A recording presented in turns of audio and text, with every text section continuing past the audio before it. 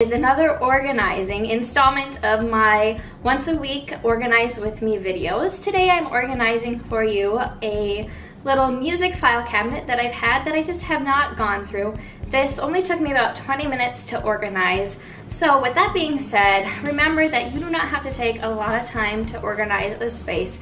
Just make it so it's something that you feel good about and that you can um, open and enjoy or look at. So if you are new to my channel, I do videos on simple and thrifted living, DIYs, and homemaking, and I would love to have you subscribe to my channel.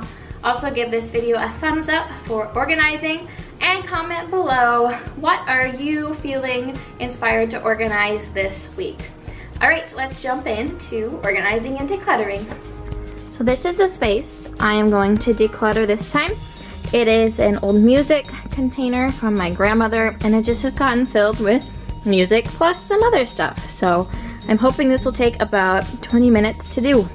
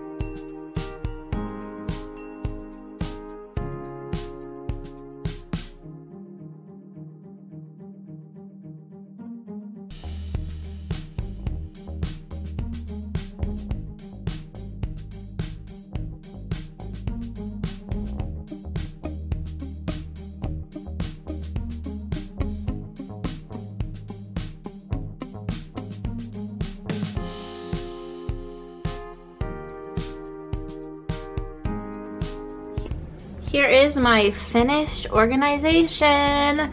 I cleaned it out a lot. I left some of my piano decorations, couple books there.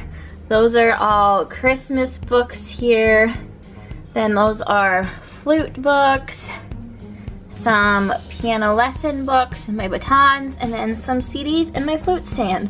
So very simple, and I just love that I can see everything. So much more organized and again it only took me 20 minutes. So again, organize something in your house today and it doesn't have to take a long time. I will talk with you in my next video. Have a blessed and wonderful day. Bye.